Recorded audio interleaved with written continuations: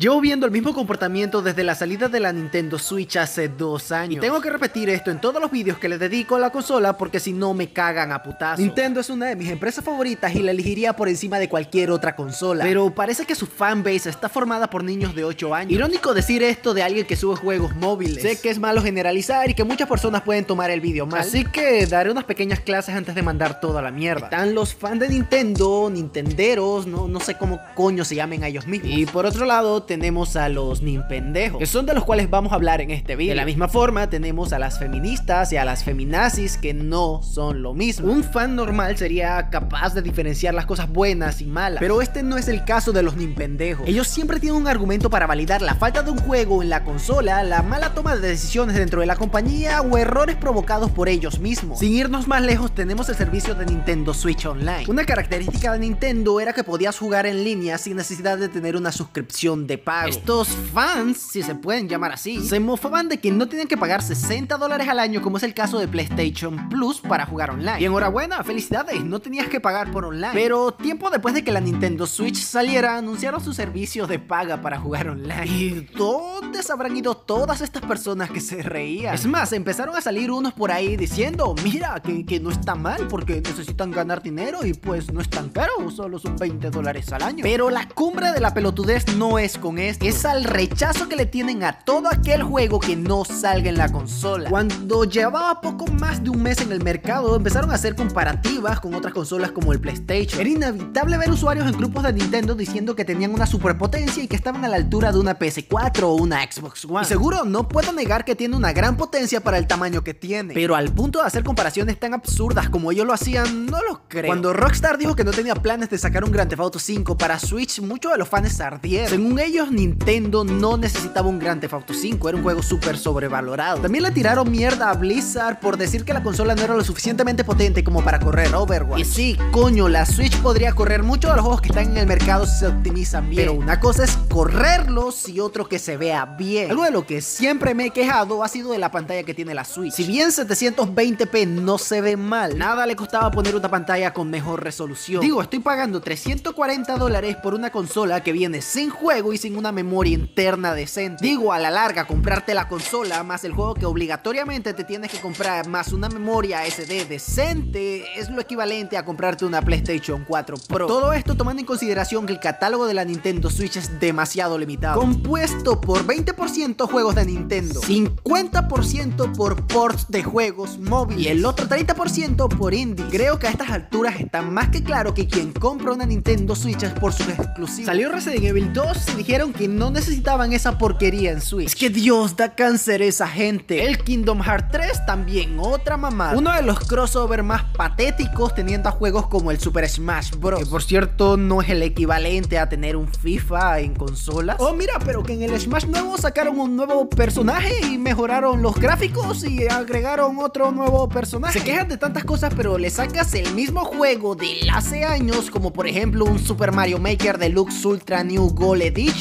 y verás cómo pierden la cabeza. Y hay donde ese juego no gana el GOTI que te la arman al pedo ahí. Jamás se me va a olvidar cuando se quejaron de YouTube. Nintendo Switch no necesitaba ninguna de esas aplicaciones como YouTube, Netflix, Hulu, ni nada de esa mamada porque es una consola para jugar. quiero ver vídeos, para eso está mi móvil, una PC, un Smart TV. Pero eh, la Nintendo Switch no la toquen porque eso es para jugar. Cuando anunciaron YouTube para Nintendo Switch, todos alabados el santísimo. Wow, al fin sacan YouTube para Nintendo Switch. En verdad me cagan los hipócritas estos. Yo puedo entender que a veces se haga la joda. Como cuando PlayStation se burla de los demás por tener más exclusivos. O el Xbox por el 4K. Pero al menos entiendes que es joda. Bueno, no, no puedo hablar por todos porque a lo mejor hay uno que hay que sí se lo cree. Pero es que los nimpendejos viven de ese sentimiento. De tener que demostrarle al mundo que la Switch es la mejor consola. Y créanme amiguitos,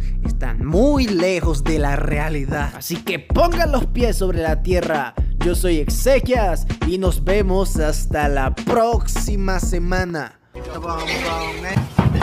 Si te pegas el círculo con mi cara, vas a ir a mi canal secundario. Así que si te pasas por allá y te suscribes, mira, yo no me quejo.